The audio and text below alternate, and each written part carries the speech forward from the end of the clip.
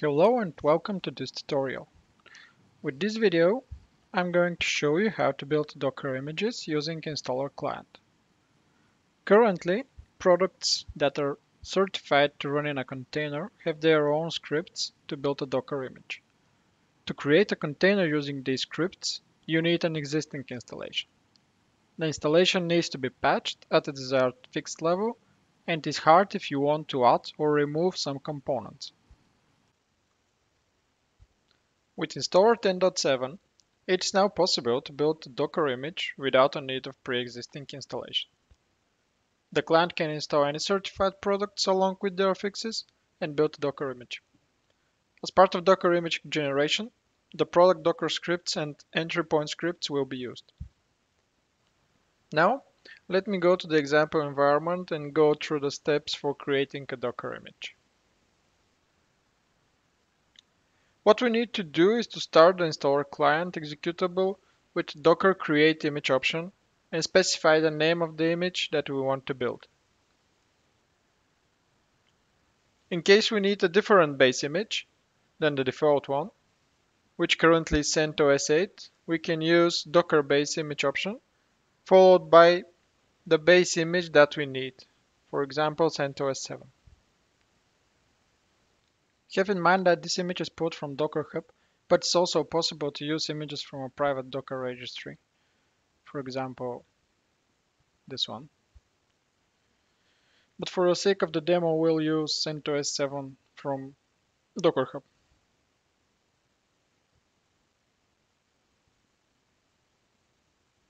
As with the other commands that we'll explore, we'll need to specify the console option to force the installer client to start in console mode. And that's it. Now we can run the installer client and choose the products and fixes that we want to include in the Docker image.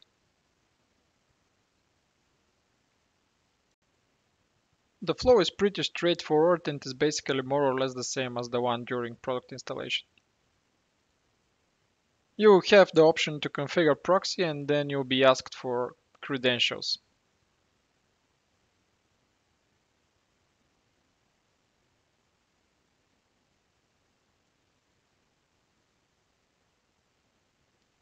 Once you specify your username and password, you need to choose the release.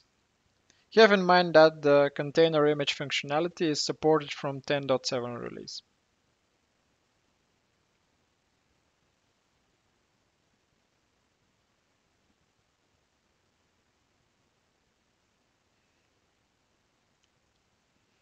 The default installation directory will be used for the installation performed inside the Docker image. So click enter in order to proceed further.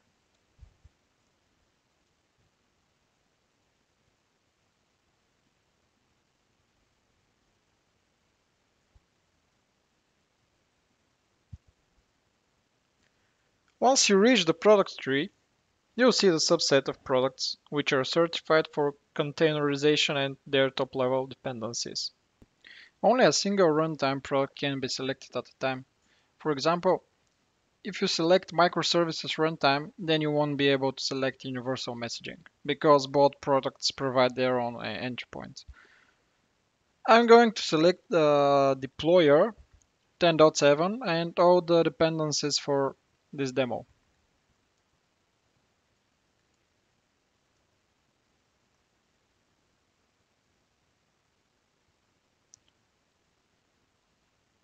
And microservices runtime 10.7 will be used as a runtime.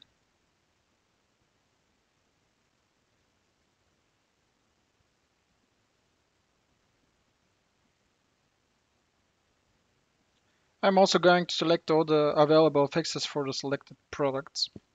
These fixes will be installed during Docker image creation. I'll accept the license agreement. Once you're ready with the products and fixes selection, Installer client will navigate you through the product configuration panels. We'll leave the default values. Uh, have in mind that the Docker image will use only the default configurations.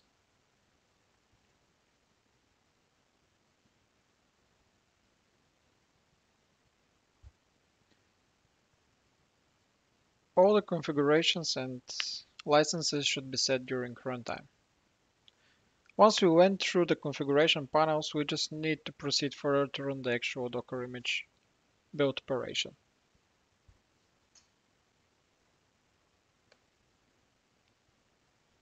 It consists of several phases and will take a while.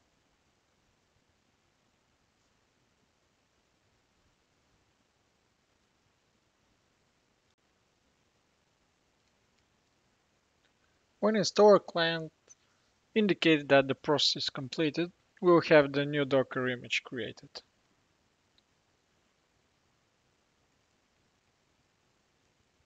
We'll now list the images. And here it is.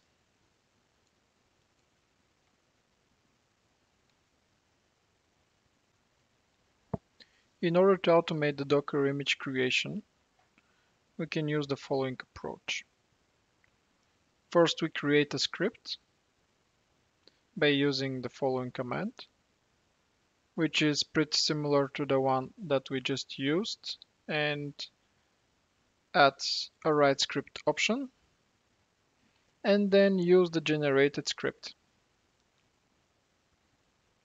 Have in mind that you need to specify all the Docker related options when using this, the generated script.